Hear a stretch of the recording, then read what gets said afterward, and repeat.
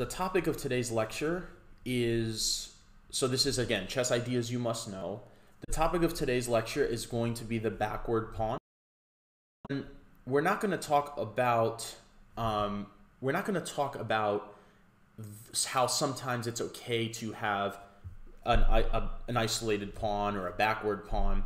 Uh, for right now, we're just going to look at the weaknesses behind these sort of pawn structures. So anyway, so today is all about the backward pawn, and we'll talk about it a little bit. And uh, and then next week, you know, it'll be some other topic. Uh, hopefully, we, you can just build upon them. And remember, you can always go back and rewatch the videos. So, okay, Nathan, yeah, definitely. So since I since we're committed to talking about players of the past on Tuesdays, we could certainly give a little bit of history on those players. Um, we could certainly do that. Okay. And uh, Southern Run, I'm glad you like it. I think it makes a little, it makes some some sense to at least have some some bounds of what what there is I might talk about. So uh, yeah, so I, am glad you guys like that. So anyway, today is all about the backward pawn. Um, so first off, we, we need to see what a backward pawn is. We sort of need to define it. For those few of you who are who are, who are watching right now, could one of you tell me what your basic definition of a backward pawn is? And uh, then we'll get going on some games. I've got um, a very historical game, a, a, game of the past that a lot of people know. I've got a modern game um, from very strong players, and then I've got one of my own games. So um, you'll see hopefully three three games today of, of the backward pawn weakness. Okay, so Wilsonator says the pawn at the end of the chain that cannot be defended by another pawn. Um, sort of, yeah. I mean, that's an interesting. That's a that's an interesting way to describe it. Okay. Uh, Nathan says the bottom of the pawn chain may be hanging. Um, sort of. I get where you guys are going with it. You're you're you're halfway right. So a pawn that cannot be defended by another pawn and it can't push safely, says AK Grandmaster. That's pretty much what it is. Southern Run, yep, you you you're pretty much there. A pawn that can't can't advance safely is considered a backward pawn. So you guys are good. Hey Nick, welcome. Good to see you online. Sorry we can't we it's unsafe for us to be together in person, but at least you can interact with me here online. And um, Ansh Chess says a pawn that is isolated, that is blocking development, not protected. So it's very long-winded um, explanation. So the pawn itself might not be isolated. The key distinguishing point of a of a backward pawn is that it cannot safely advance. And typically these these pawns are on half open files. So we're going to talk about that a little bit. And um, so Welcome, everyone. Nick, welcome. Michael, welcome. Okay, Southern Run, Michael. Putting names, putting names to to everyone. Nathan, Nathan J. Conklin is the easy one. So, all right. So let's have a look. So we'll start off with the, the, the historical game, right? So we'll start off with a key game in chess that sort of really magnifies the this backward pawn concept. And so who better than a game of the Akiba Rubinstein legend, Akiba Rubinstein playing the white pieces here versus George Salwe. Okay, so the game began d4, which is a fine first move, and d5. So we have a queen's pawn game right now.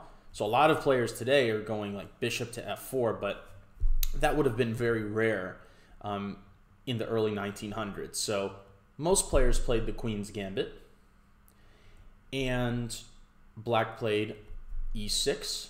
So, of course, this is the Queen's Gambit. Black could take this pawn, but you can't really keep that pawn, so most players decide to just solidify their, their center by protecting the pawn with a pawn. Okay, so that's fine. So Rubinstein developed knight to c3. It's a very good developing move, which pressures the center, so you can't really you can't really frown upon that move. Salwe played c5. This is known as the Tarrasch defense after Siegbert Tarrasch. So it's it looks sort of like black is playing the French defense against d4. Okay? But what black is trying to do is really just pressure white's center as much as possible.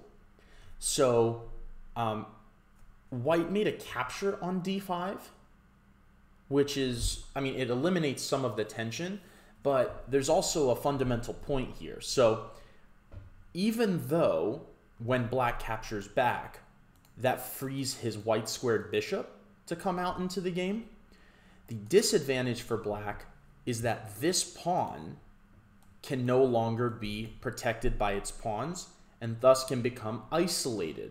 So with a pawn exchange, either by black or by white, this pawn could become isolated.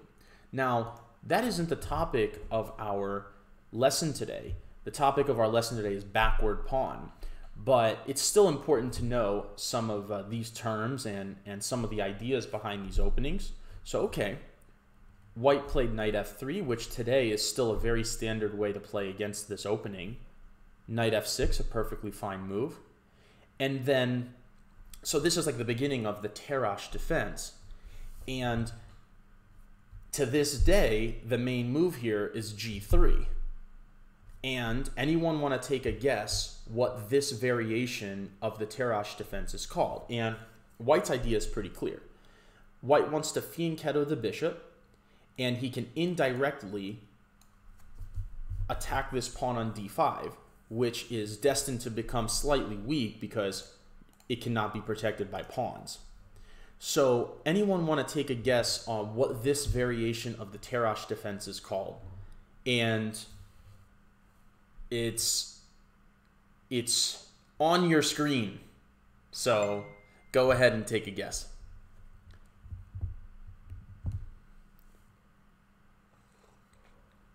So what we're looking for is the name of this variation that white is playing in, against Black's Tarrasch defense, where he fianchettos and attacks.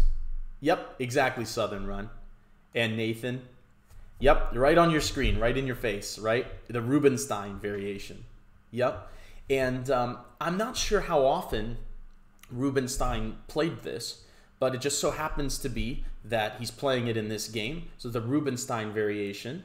So I guess back then it wasn't really called the Rubinstein variation, it was just some opening, but players started to realize this was an effective setup against this pawn structure because white's targeting that weak pawn. All right. Welcome, Dead Man Game. Welcome back. All right. So black develops sensibly with knight c6. White fianchettoed the bishop as planned. Now here, black committed this trade on d4, which most players would not do uh, now. Um, so self isolating his d pawn, so doing it without provocation. So most players here would play a move like bishop to e7, and then castle or close the center somewhat with the move c4. But okay, Salwe played takes. White captured back, nothing crazy here. The knight is, of course, protected by the queen, so we've got that covered and then played the move queen b6, very much like a French defense. Okay, so the problem is that playing it in this manner is not the most effective. Notice that the center is very open. And so moving your queen out to pressure the center when the center is open like that, it's probably going to cost you some tempi later in the game with your queen exposed. Okay, so um, White committed a trade here. Black wanted to reinforce his center. And so this pawn isn't isolated anymore, but you may see where the backward pawn, which is the theme of our, of our lecture today, is uh, becoming available for white to target. So right now, which is the backward pawn, or, or, or let's just say, which is the pawn that white hopes to make backward? Right, and hopes to not allow to safely advance. That's right, Nathan, the C, the C pawn. Okay? The nice thing about the C6 pawn is it's on a half open file. So yeah, we have pieces there right now, but we can try to get our pieces over there to attack this backward pawn. All right, so, but first things first, white needs to castle. And this is a strong move. And I, and I have to be honest, like, black needs to quickly castle too, because that backward pawn, which is a strategic idea, may not matter if white can blast open the center with pawn to e4 and get at black's king that's still stuck in the middle. So strategic ideas go out of the window if you break the fundamentals of the game, like not not castling quickly and getting your king out of the middle. So white would love to play the move e4 and blast the center open if black isn't going to castle. But black played smart. He played bishop to e7. I think that white could go e4 here and open the game, and I think that would be a fine move for white. But Rubinstein, a great strategic player, just a great player overall, he was really keen on taking advantage of this pawn weakness.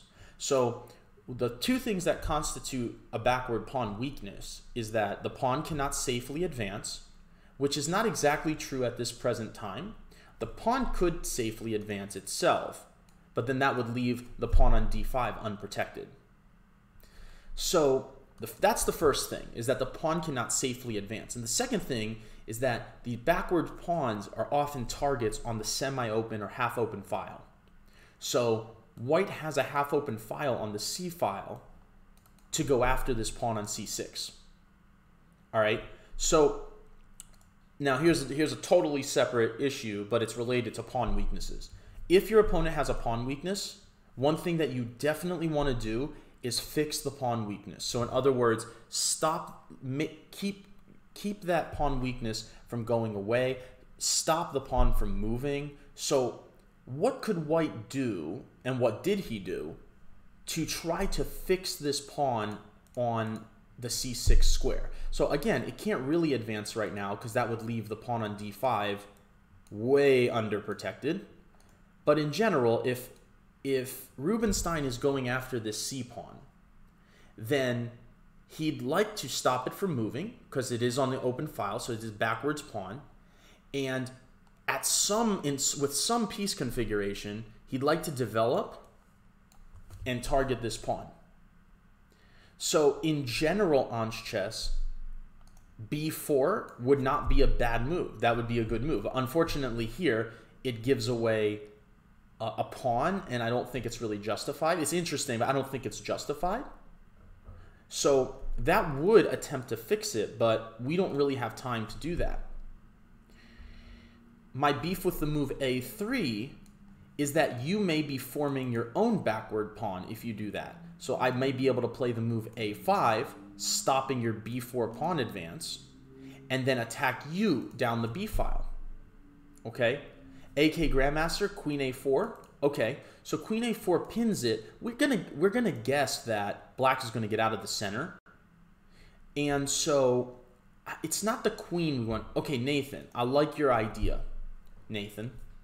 So as noted earlier, this Queen is exposed to a lot of different attacks. The Queen is exposed to a Bishop E3 attack, a Knight A4 attack, and we would like to attack this square a lot of different ways, stop this pawn from advancing, and then of course get our rook to that half open file so that we can actually attack that pawn weakness. So indeed, Nathan, good good job. Knight to a4. Uh, white would like to play bishop to e3, which also attacks this square and the queen. But okay, he doesn't want to lose his pawn on b2. So knight a4 was a good starting move. Good job, Nathan. And, and Wilsonator. Good job. So the knight attacks the queen. And the knight also happens to protect the pawn on b2, which allows the bishop free to access this square. And then finally, the rook can get to the c file and actually start attacking the pawn. So as noted, our sort of first step in this process is fixing the weakness, stopping it from moving right? Then the next step is to actually attack it, right? Because it's all for nothing if we can't actually attack it in some constructive way. So, very good, Nathan. So, black played queen to b5. And Rubinstein was persistent. So first, so he knows he wants to bring this rook to the c file to attack the backward pawn. But he also wants to ensure that this outpost square on c5 can be utilized for his pieces. And he knows that if he blockades that square and stops the pawn from moving, he can also plant his pieces on those weak squares. Okay, so Rubinstein played bishop to e3, which is a great move. I mean, it develops a piece, it eyes this important c5 square, and it prepares to bring the rook over. So all those pieces are, are attacking this square, but finally, when the rook gets to the c file, we'll actually get to attack this backward pawn. Okay? Hey, Tiger Ninja, welcome. Okay? I see we're starting to pick up some steam here, so hopefully we got to get we got to get more people in the chat. So I I really hate talking to myself. So if you guys want to engage me, just like definitely type it in the chat because I think there's only about a five or six second delay. So I'd love to to hear your thoughts. But hopefully I'm explaining things okay for you here. So uh, anyway, so bishop to e3, eyeing this square and preparing the rook over to attack the backward pawn. So black needs to castle, so he castled. And then white played the move rook to c1, which is all part of the plan. So these good strategic ideas, like attacking down the half-open file, attacking the backward pawn, fixing the pawn in such a way as to not allow it to move and advance forward, this is all strategic. This is really good. It gives white some ideas of like if you're in your own chess game and you're like, what am I supposed to do? Knowing these ideas can can be very powerful. It gives you something to think about. It gives you a plan. And in chess, it's it's the plans that matter. Hi Penelope, welcome. You watching too? All right. So Black played actively here, which I think is a good move. He played bishop to g4.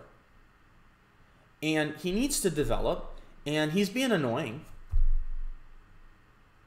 because you know should the queen want to move ever i mean the e pawn is weak and also he's simply attacking the e pawn so he's being annoying. Hey on chess yeah you could huddle up with bishop to d7 followed by rook to c8 just to guard. But I'm going to plan a piece on that C that C5 square, and I'm going to render your piece as pretty passive if you do that. So in these type of positions, the passive defense doesn't usually work. So bishop to g4 and pawn to f3. Uh, that move was not obligatory. He didn't have to play pawn f3, but he he made good use of it later in the game. So we're not going to frown upon that move. It's certainly not a bad move. Another possibility would have been to play rook to e1 to guard this pawn, but I like the depth of Rubinstein's play here. So you played f3. The bishop retreated, of course. Now, this is an outpost square because it cannot be attacked by any pawns. And so that's one positive thing for White. He's got this nice square for his pieces. He's got a choice of which piece to put there. And of course, we also want to attack this backward pawn. Okay, so in this situation, black has a good bishop and black has a bad bishop. Okay? So can you in the chat go ahead and tell me which one is the theoretically good bishop and which one is the bad bishop? Oh, thanks, Coach Grant. Yeah, I shaved down today, so I do look a little bit younger, and I got a shorter haircut because they don't let us get haircuts anymore for about a month. So I thought, let me not look too crazy, especially if I'm going to do streams. You know, I got I can't look too too crazy. And uh, hey Arnav, welcome. Pawn Stormtrooper, welcome. Yeah, the dark squared bishop is the good bishop. Yes, exactly, guys. The bishop on e7 is the is the good one, and that's mainly just because it's not blocked by the center pawns. Okay? So, the bishop on e6 is blocked by these center pawns, so its mobility is limited. Whereas the bishop on e7 doesn't really do much right now, but Okay. It is uh, relatively, yeah, exactly, guys. So the light square bishop is the bad one, and the dark square bishop is the more powerful one as it's sort of free to move along the diagonal. Okay? So the topic of this lecture is backward pawns. We've got a backward pawn here. In front of this backward pawn, we've got an outpost square for our pieces. And so white is placed really nicely here so far. But that doesn't mean like white's going to win the game, but white is doing the right things. So having said that, we know that this bishop on e7 is the is the good bishop. So what do you think white's next move is? Which builds on his strong squares along the c file, but also attempts to get rid of black's good pieces, which is another part of chess, of course, is when you trade, make, a, make trades that are beneficial for you, get rid of your opponent's good pieces. So what do you think Rubinstein played to use the strong squares that he's earned from his strong strategic play, but also get rid of black's good pieces all at the same time? All right, I see some really good strategic players uh, following this very nicely. Okay, bishop to c5, exactly. That's what that's what he played. And to me, this makes a lot of sense because he doesn't win the game, but from the from a human standpoint, it makes sense because you're trading off you their good bishop. Okay, and you'd like to occupy this square with your pieces, maybe your rooks, maybe you'd like to double up or triple up, but you can't really do that, so you're going to get rid of the dark squared bishop first. So good job, everyone that said bishop to c5. Nick, good job. Hey, hey, live for chess. Welcome. Hope everything's safe over there in the UK. It's a late night uh, educational stream today, but welcome. I hope you enjoy. And so, yeah, so basically we want to trade these dark squared bishops off because we want to trade off black's good pieces. By doing this, we're not getting rid of the backward pawn weakness that black has. So this doesn't this doesn't this is not a negative thing for white in it by any means. Okay? So, all right. Black defended his bishop. He certainly didn't want to trade for free and sort of allow this rook to come in with tempo, which would then allow white to really pile drive the c pawn. So he decided, okay, let's go ahead and play rook to e8. And now, of course, white could trade, but he probably didn't want to rush to doing that because that might offer black additional additional defense to the c pawn. So he played a very deep idea, Rubinstein did. And I'm not going to really ask you to find this, but I'll give you some hints and then maybe you can find it. So in long term, the c pawn is a is a weakness that we'd like to attack.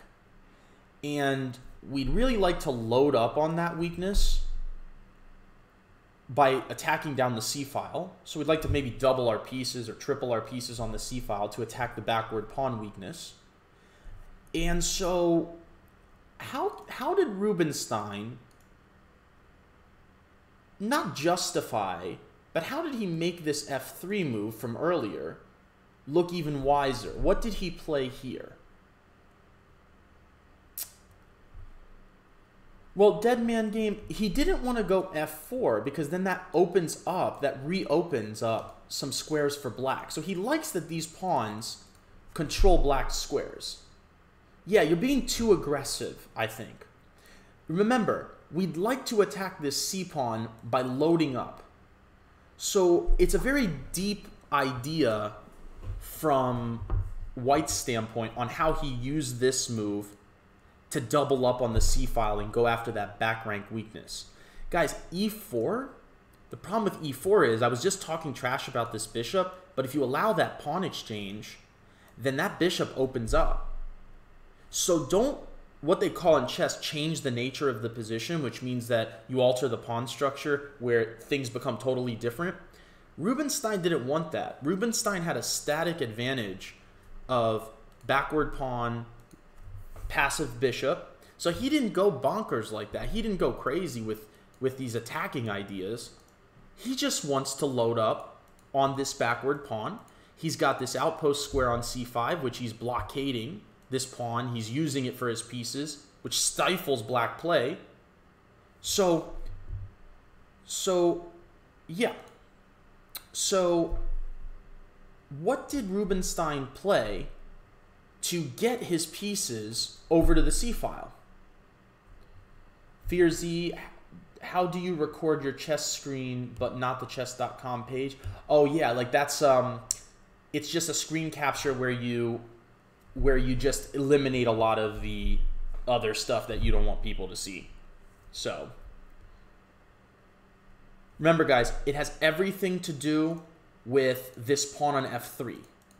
So how how did Rubinstein justify this pawn on f3 and use it for the good?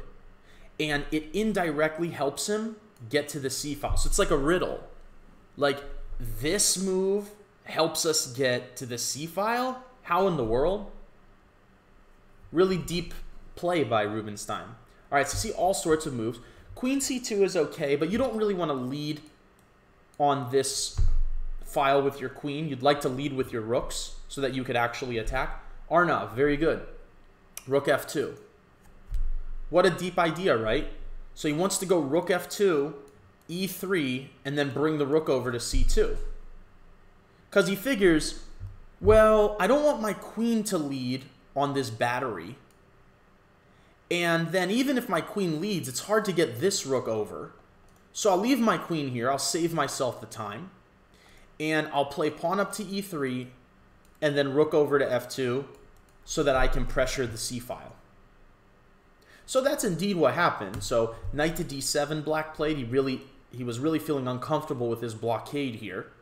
So white went ahead and committed the, the good trade of the elimination of black's active bishop.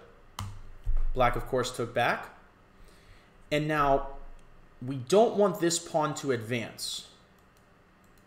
We don't want this pawn to advance.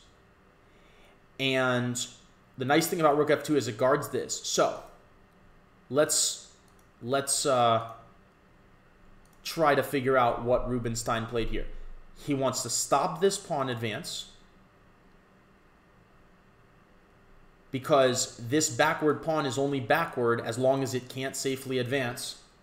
And so the theme of this lecture is backward pawn, so we can't really allow this, so what do we do?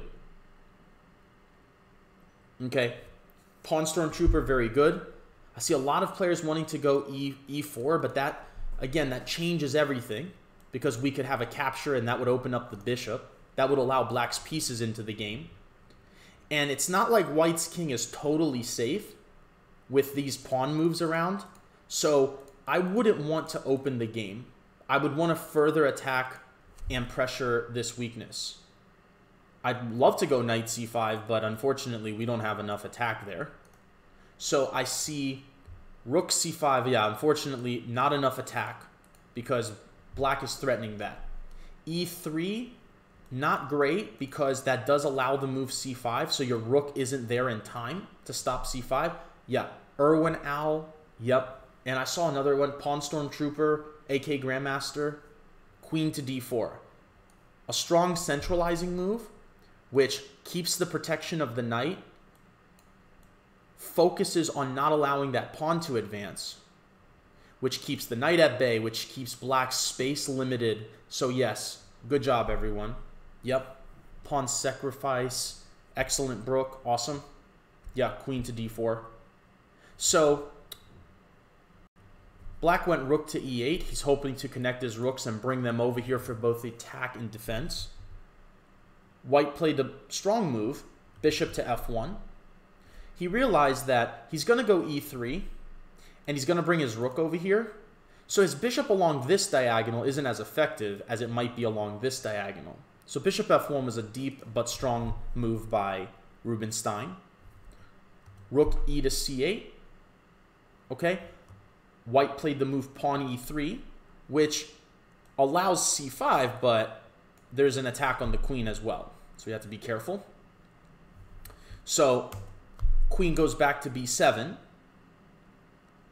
And now finally, white gets this knight off of the rim and knight to c5. Really planting, which is stopping this pawn from advancing. It's sort of like the old Nimzovich idea, which was that when you're blockading the isolated pawn, that you should physically blockade it, not just blockade it in such a way where you're attacking it a million times like here. But Nimzovich said the best way to blockade is to physically blockade. So this pawn can physically not move, can legally not move. Okay, so that's the best blockade. All right, great. So black traded, white traded, and this is nice because we keep the blockade against this backward pawn. It's a fixed weakness. This rook is coming over. And Rubinstein plays the rest of the game very well. And black never really had any counterplay. Everything Rubinstein does here is logical, straightforward, and very strong. So rook to c7 is what Salwe played. I mean, he's, he knows that the attack is coming here. So white keeps, keeps loading up on the file. So rook c2, queen b6, and now the purpose of this is he would like some control of the squares over here. But after queen b6, Rubinstein played a very strong move here, further securing his pieces and his space advantage on the queen side. What did Rubinstein play? Hey, Dead Man Game. Yeah, Rubinstein won, not because he's Rubinstein, but because he really just played a great game here. So what did White play here to further fix both secure and cement his pieces into the queen side, but also secure some square? The kid, yep. B4. Good move. That's a new name. The kid, welcome. Is this your first time in on the stream? I mean, we're pretty new, so it wouldn't surprise me, but welcome anyway. So, B4. Awesome, everyone. Yep, B4. And B4 protects the, the rook, which doesn't necessarily need protection, but it also stops various pawn breaks as well. Okay? And because of the pin down the c file against this backward pawn, we may even be able to play the move pawn to b5, attacking the pin piece. So b4 is a very useful move for a lot of different reasons. It secures all the pieces and the squares on the queen side, but it also it's an additional attacking unit against that backward pawn on c6. All right, pawn a6, he wants to stop the move b5. So white played another good move here.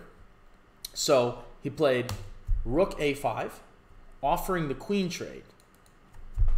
So he's offering the queen trade because he knows that these pawns are for pickings if the queens come off. For example, queen takes queen, pawn takes queen, and yeah, the queens are off the board, but it, the the weaknesses here are even better seen because we've got an attack on the a pawn, we've got an easy attack on the c pawn, and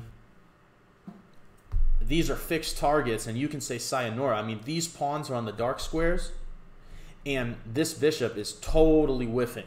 I mean, it's not even whiffing. It's not even up to bat. It's just sort of blocked. Okay? So, anyway, so queen trade didn't happen. He played rook to b8. Said, you trade queens with me. I'll at least try to get my rook in a more active place. White just said, no. a3. I'm not going to let you get active. You want me, Rubinstein's saying, you want me to take here okay? And then you want to get active by taking my B pawn and making things chaotic. But as we talked about earlier, when your opponent has these static weaknesses that aren't going anywhere, you don't have to do that. Just relax. Keep everything the same.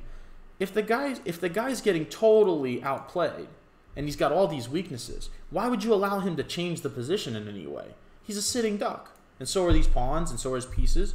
So he says, and again, we don't care about this trade. You want to trade? That pawn's gone for sure. That one's probably gone too. And, I mean, that's going to be all she wrote there. So, all right. so in the game, rook a7 happened to guard this pawn, which is now under attack. Remember, before, when black played rook to b8, if white took this pawn, black would take this one. But after the move a3, guarding the pawn, now this one is under attack. So rook a7 guarding the pawn, and now white had a very simple but nice tactic which won a pawn. So does anyone see it? Go ahead and type it in the chat.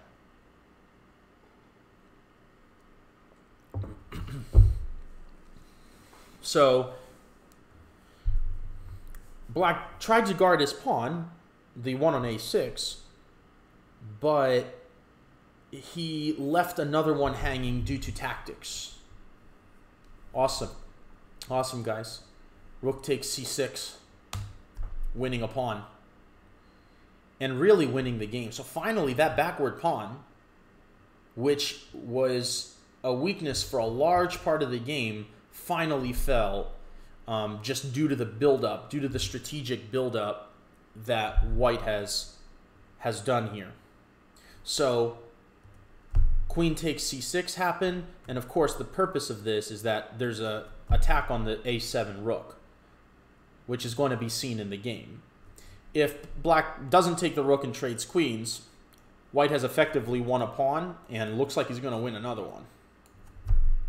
Okay, and you just can't be down this much material against against your opponents.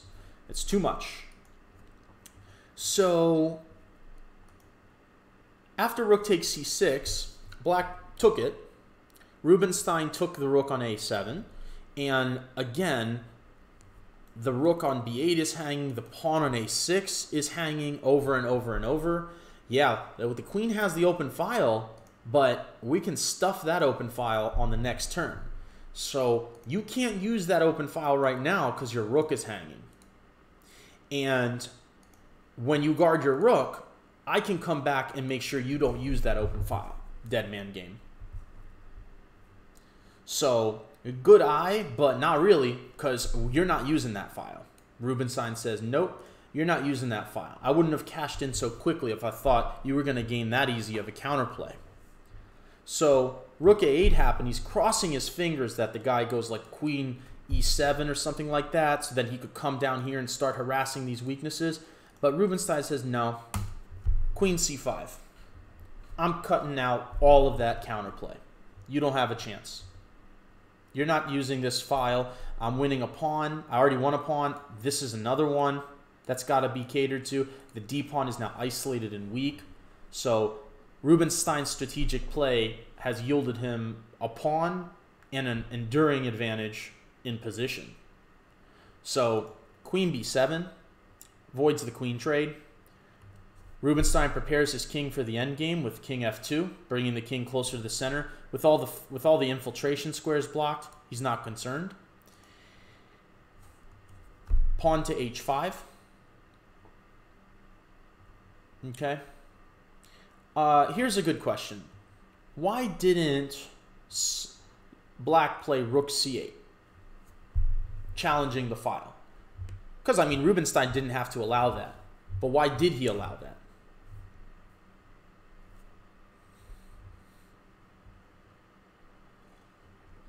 If good players allow the move like rook c8 gaining control of the file, they've usually got something up their sleeve. So what was Rubinstein going to play here?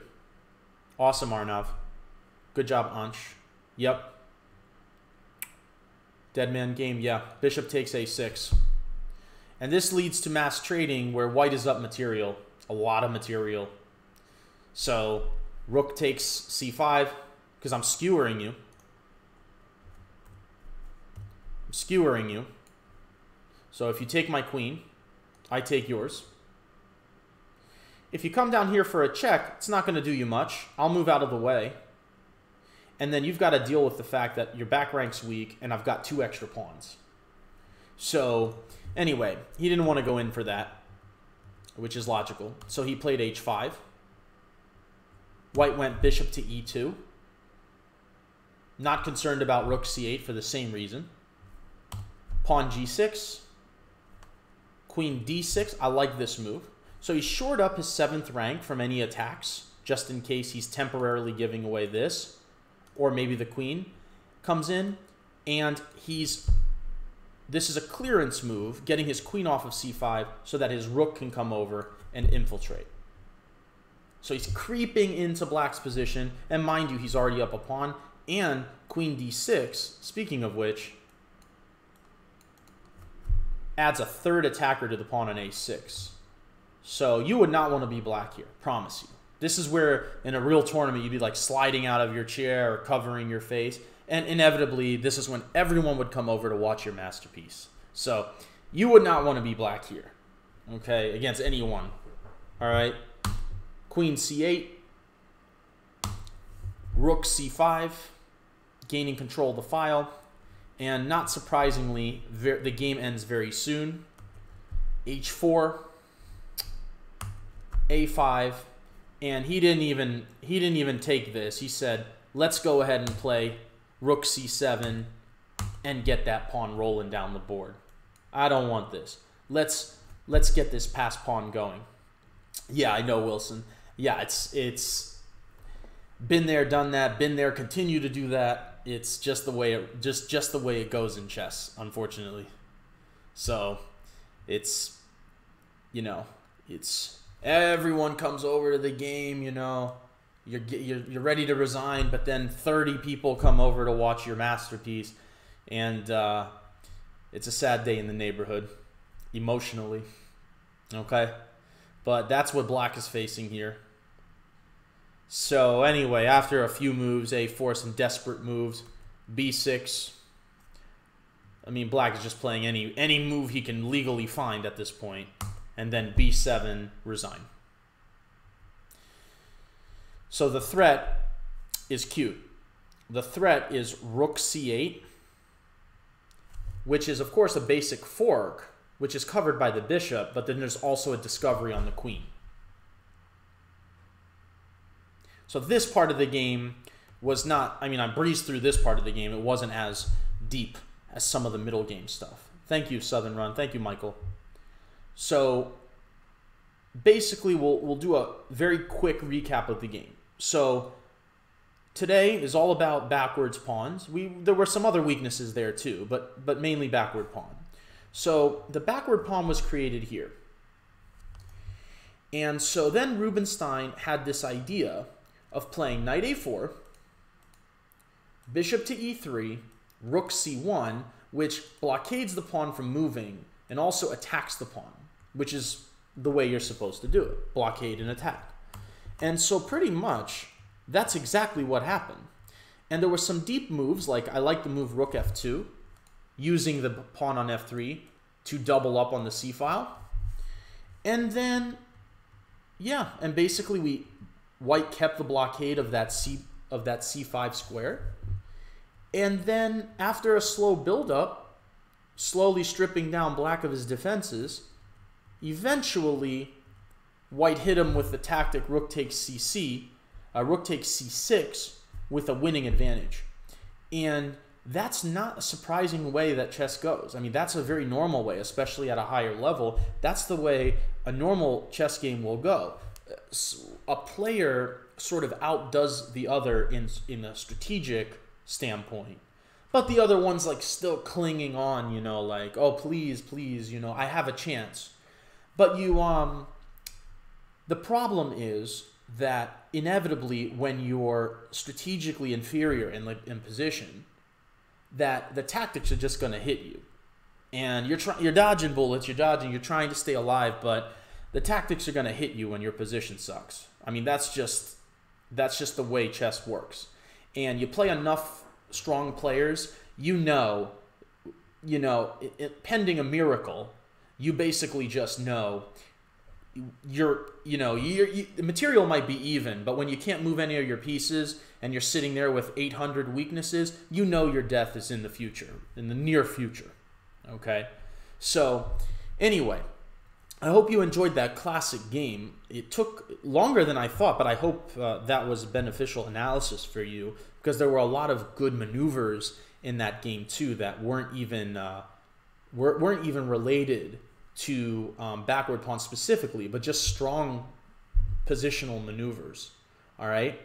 Um, I have two more games for you, so let's let's just take it one at a time because technically the lecture's supposed to end at 7:30, and our viewership is only around 25 or 30. Uh, if we had a lot more viewership than that, I might go beyond my 7:30.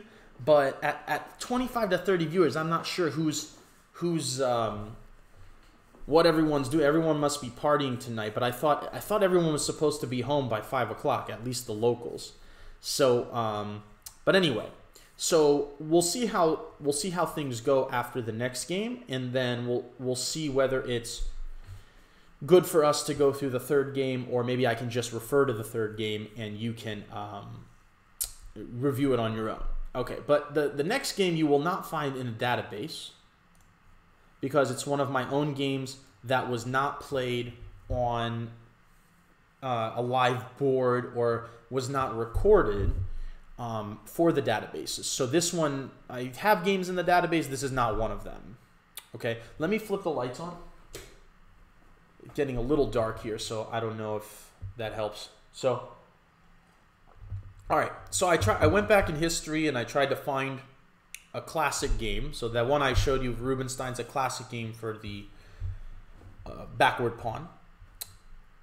We take these ideas from the famous players of the past and we try to use them in our own games, in our own very unique games. The games aren't really, you know, they're never really the same.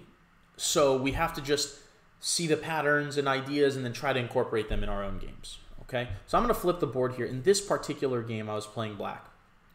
And at this time, I was a master. As you can see, I was a 2260 player. My peak rating is 2390. Um, but at this time, this is I, I just made master, and once I got that out of my head, um, I was able to sort of gain some additional points because there was no there was no psychological roadblock for me, and I was and I was on a stretch of really good tournaments. I was playing really well, and uh, I think this game represents that. I was playing Will Mahan, who is uh, was a local expert, I think from the Asheboro, North Carolina area, Greensboro area, and uh, we played this tournament at the Greensboro Open, which I won um, uh, that that time, and this was the last round. Yeah, and so you could see the names of the players um, below the uh, chessboard. I mean, hopefully it's not cut off on your screen, but it looks okay on my screen. And uh, so I was playing black here against Will Mahan, who's an expert, 21, about 2140 uh, USCF at that time. This was 2015. So we're still going to focus on backwards pawns, but that doesn't, and that does occur in this game. But we're also not going to neglect the other the other positive maneuvers and things, just like in the previous game. So we'll breeze through the opening. So my opponent played the move c4, the English opening, which perfectly fine move. I played the move e6, and he played knight c3, and I played d5, and then just taking some control of the center, and then he went d4, and now we're actually in a queen's gambit decline. So by transposition, it started as an English, but now we're in a queen's gambit opening. Okay, I played the move bishop to e7. He committed a trade here, which is a very popular way to play against the Queen's Gambit decline, the exchange variation. He played bishop to f4, developing. I went c6, reinforcing my pawn chain. He went e3. I went bishop to d6. Uh, this is, you know, shame on me for playing this. As it turns out, it's a theoretical move. Um, you don't have to, uh, you don't have to imitate my play, but one thing is this bishop is often difficult to get out. And you always have to be worried about white coming down here and attacking this when you bring your light squared bishop out too early. And so one interesting thing is the main line here is bishop to f5. And then white goes g4 to harass that bishop. And then the game gets very complicated, which you might say, well, don't you want that? And I sort of did except for the fact that I didn't know the theory. So I was like, well, it's been a while since I've studied that theory, which is pretty deep. So I'll play a positional line, which has some theory, but maybe if it'll get to a position where it's not so forcing. So I played bishop to d6. The idea is I'm going to get this bishop out. Like if he stops me by going bishop to d3, I'm going to place my knight on e7, which supports my bishop to f5. All right, so he played knight e2. Not a huge fan of that move, but it makes sense if I trade that invites his knight to the center. So I didn't do that. I developed with knight to e7 so that I could just develop as I had planned. He traded, I took. He went knight to f4, clearing the way for his development. I castled. He played bishop to d3. I wanted to get rid of my weak light squared bishop, which was the point of knight to e7, so I played bishop to f5. And this is all you're thinking to yourself, where's the backward pawn and everything? I'm, so light, light notes to these moves, all right? Queen c2, we had a trade. Here he took with the queen. I thought he should take with the knight. And then from there, the knight has some positive squares in the center. But all right, he took with the queen. I developed. So now you can follow my play. Like you can copy my play. I'm okay with that. I'm playing sensibly. Castle. Knight f6. Just advancing more toward the center. We'll see what we'll see what white does. All right. So white played the move a3. So this is the first time I would say that I really had to make a decision on what I wanted to do. So a3, what does a3 do? So there's a plan in chess that we'll talk about on some other Thursday, which is Ideas in Chess You Must Know, which is the lecture of the Thursday lecture topic, called the minority attack. Okay? And it happens indeed in this exact pawn structure called the Carlsbad pawn structure. Okay? So the idea is that if white gets it his way, white will use this minority of pawns, this smaller group of pawns, to attack the, weak, the larger group of pawns to encourage exchanges to weaken the pawn chain.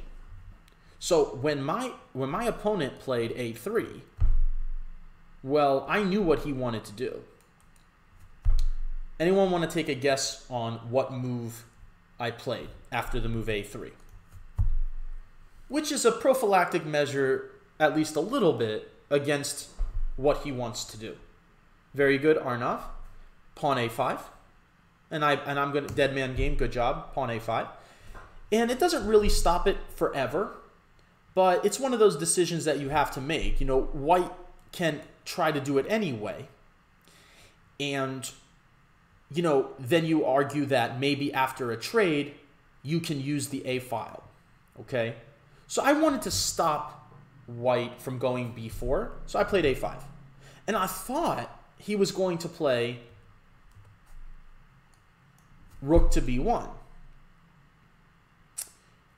Uh, and then you know, the game would go on, but I was thinking I might go knight back to c8.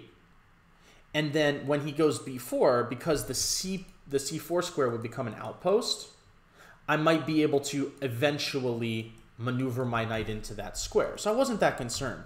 But the move rook a to d1 surprised me because he gave up on this idea. He gave up on the minority attack idea, which was a surprising thing for me because usually when you start something, you try and, and I didn't I didn't really stop it permanently. So I'm surprised he just totally shifted plans. Okay, so I went rook to e8 because I thought by him putting his rook here, to me, that was him telling me, I don't want to go for the minority attack anymore. I want to go for a center attack. So what center pawn break does white want to prepare here?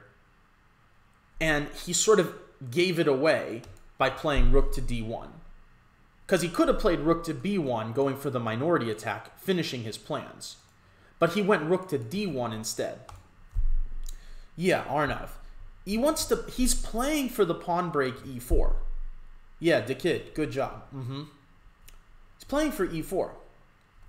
But he's got some work to do before he can do that. Because first of all, if he goes e4, it hangs a knight. Okay, so he can't even do it immediately. and this plan is really time consuming. So I said, well, you know, you're far ahead, you're far away from being able to play this. And uh, let's say this knight wasn't hanging. I'm not that concerned of e4 anyway, because when I trade, that's going to isolate this pawn. So he really needs to prepare e4 in a lot of different ways. He needs to go f3, followed by e4, but then he needs to move this knight away, and he probably needs to bring his rook over. So he's like four or five moves away from playing e4. So I was like, all right, I'm going to go rook to e8, and I'm going to place my rook on this on this half-open file. Okay, my opponent played the move rook to e1. Now it's sort of like you can't even lie anymore about what you're trying to do. Because putting your rook on the not open file only suggests one thing. You think that that file is going to open. Okay? So I was thinking, huh, my pieces uh, are a little clumsy. I would say that the knight is good. The knight on f6 is good because it eyes the control of that square. But I started thinking, hmm, the knight on the knight on e7 is not well placed. So I maneuvered it and I wanted to get it to a more positive square, a square where it could do more. I thought of playing knight to g6 but he was a lower rated opponent, so I wanted to avoid too much trading. I wanted to keep some artillery on the board, so to speak. So I didn't play knight to g6, so I'll go ahead and spare you that. But I wanted to maneuver this knight to a, to a better place. So I figured I have some time to maneuver because he's not ready to play e4. So I can spend some tempi positioning my pieces for the battle too. So what did I play? I'll let you guys uh, suggest in the chat what did I play here. All right, Arnav says knight c8. All right, with a maneuver possible to a few different squares from there. All right. What else we got? Yep. Good. E7's ma is that maybe tell me who you are. Knight c8, knight c8, knight f5. I would love to go knight f5. Unfortunately, knight f5 is unprotected, but I, I would like to go knight f5. Mm -hmm. But okay, so I did go knight to c8, and uh, I have some I, some options of where I'm going to go with the knight. So he played knight to a4, and I think he thought that I wanted to go knight to b6. But I didn't really want to go knight to b6 because even if he left his knight here, I thought maybe after knight to b6, it's possible he could go b3 and block my knight out. So after knight a4, oh hey, welcome, welcome. I'm glad. Yeah, exactly, exactly. Well, I'm glad you have more time, and I hope this is entertaining for you. So so he went knight a4, and he thought he was stopping knight to b6, but as it turns out, that's not really what I wanted to do. So again, he's changing his mind too much. He was going for e4, now he's stopping me from doing things, and so he's his pieces are, are starting to fall out of order, and they're not making sense. So I do want to improve this knight, and I want to I want to bring the knight to a more influential square. At the same time, I do want to keep in mind what he may be doing. So he may be stopping my knight from going to b6. He may be wanting to come into c5. Um, I didn't play b6 because I wouldn't be lecturing about this if I did that because he would go and attack my backward pawn. Welcome, Eli. Yeah, I mean the thing about the thing about knight a7 and knight b5 is it's a long way to get to nowhere or to the square that I can get to a lot faster. So play a clearance tactic, not a tactic, but a clearance move, which gets a piece out of the way so that you can improve a piece, a, a different piece.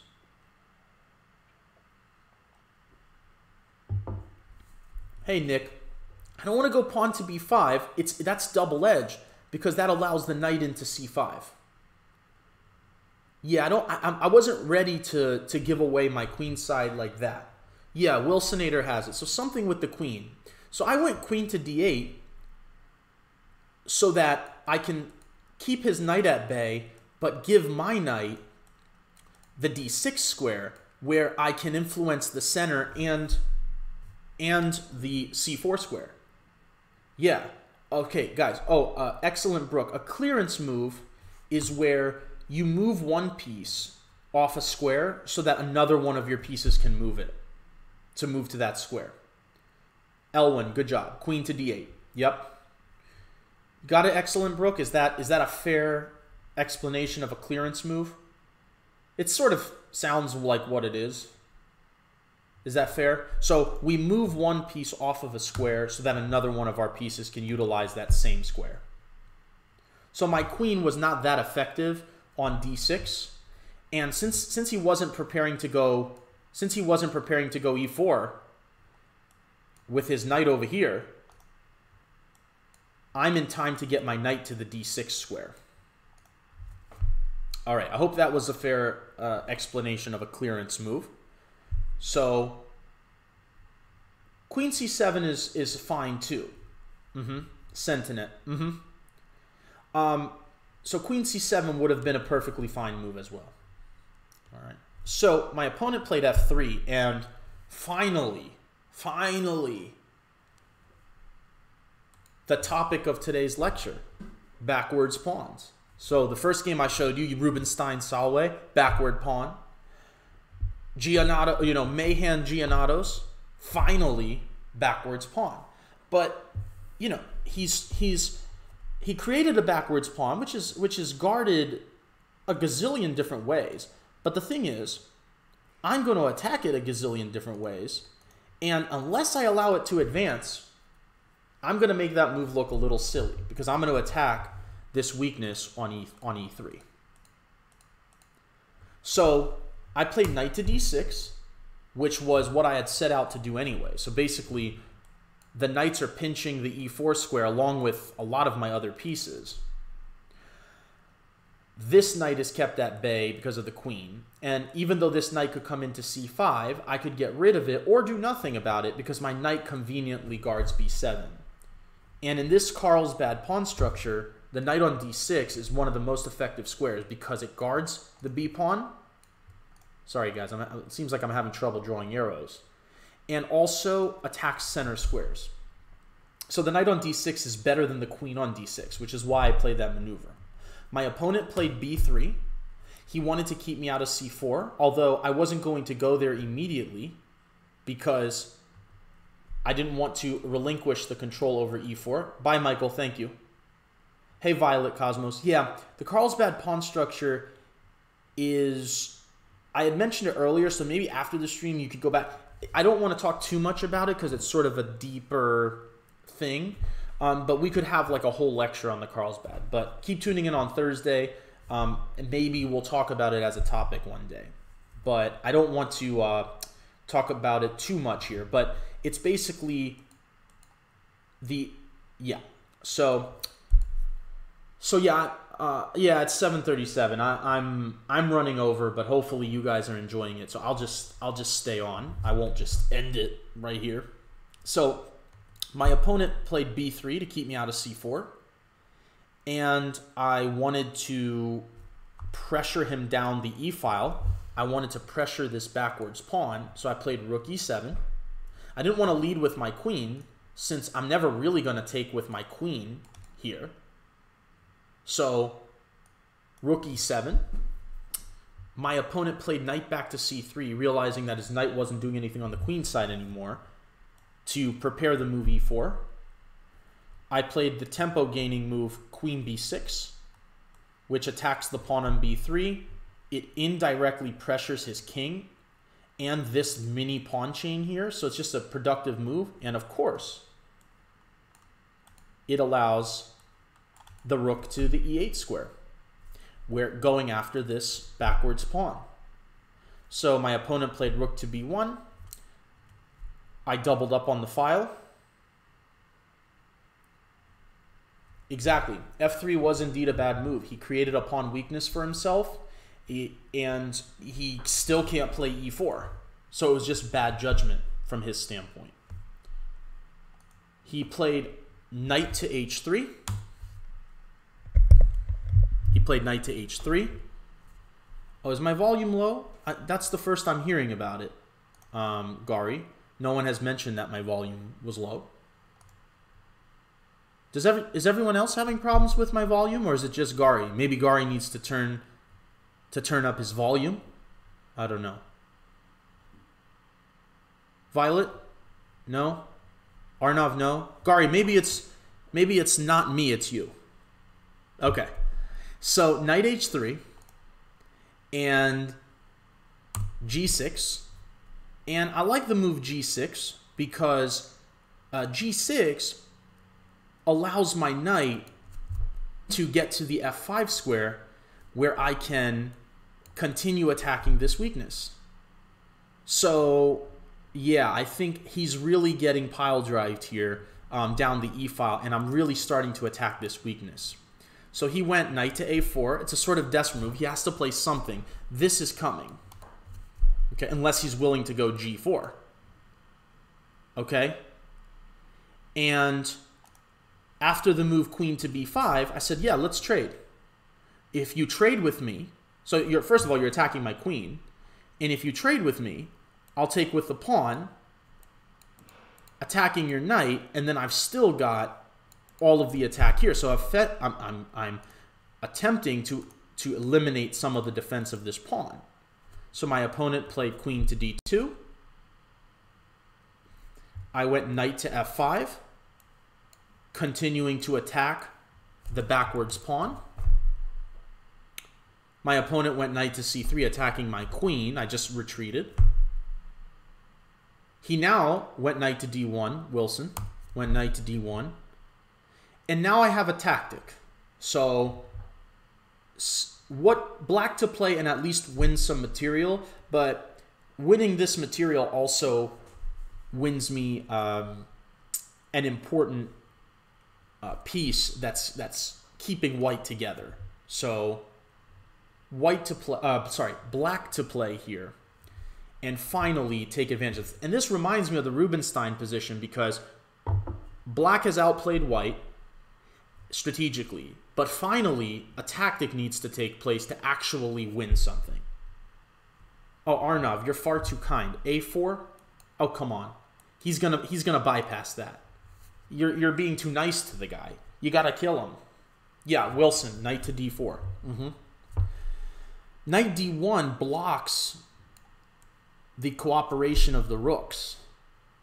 So I've got a pin on that backwards pawn. So I played knight takes d4. Mm-hmm. Yeah. Not surprising that there's a there's a knockout there, that there's a there's a, a move that wins material because white's pieces are so poorly placed. Okay? So he played b4. I played knight back to f5 because I, I won my pawn, and now I'd like to target this a lot of times. My opponent played rook to b3 to guard. I went knight to d6 because I saw that I might have the maneuver knight to c4, which not only attacks the queen, but also further attacks this. And so, you know, black is up a pawn and with a winning advantage. So it's a matter of time. So queen c3 he played. Now, at this time, I was taking lessons um, for chess. I mean, I was an expert when I started taking lessons. It was the first time in my life I had a private coach. I started taking lessons from Grandmaster Alexander Shabalov, many-time U.S. champion, and uh, who I'm very I'm friends with to this day, um, and I consider a great coach um, of the game. And he mentioned something to me which I never really thought about, even though I was a good player when I was taking lessons from him. I never really thought about it. But he was like, the first thing that you should do when an opponent issues a threat is consider it ignoring it. Okay? So my opponent's attacking my knight in such an elementary fashion that it's not like I'm not going to see it.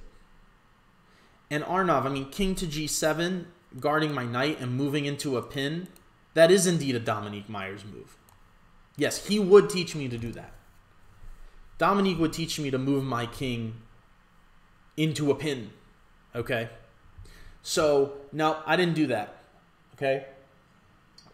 White is doing two things here. Okay? White is guarding his rook so he can take my pawn. Because before, that pawn was not takeable. So he played queen to c3. And he's attacking my knight, and he's attacking my pawn now because he's protecting his rook. Links, really good job. Links, very good. A4. Now, this is a this is more complicated than it seems because he takes my knight, I take his rook. He takes another knight. That's two minor pieces for for a rook. Normally we're like, no, no, no, we're not doing that. But this passed pawn on b3 is very dangerous. So I had calculated, this is what happened. I had calculated up to here, I mean, in a little bit further, but I'm going to stop it here for you to figure it out. So what move did I play here which ends the game due to white's overloaded pieces? And I was pretty proud of myself for for finding this uh, over the board because it's a nice move. So I obviously want to break him down here. I want to break all that down. But he's he's clinging, he's clinging to e3. Oh, please. So we got to get him out of there. So we have to we have to find a way to get him out of there. Okay? So so I see uh, rook takes e3. I see pawn b2. Lynx says b2. Lynx has been on a roll today. He's been suggesting some good stuff. Wilsonator, yep. B2. That's Aaron Wilson, right? Welcome, Aaron. So B2. Yeah, B2 guys, you the Arnav, Excelbrook, Lynx, Wilsonator, B2 is the move. That just crushes him. Because I'm threatening to promote. If he takes, or if he stops promotion by moving the knight, my my rook oh sorry. My rooks break down the e3 point along with my queen's attack. So he played knight takes b2. I played rook takes e3, and then he resigned. Oh, for you guys, that's not good, right?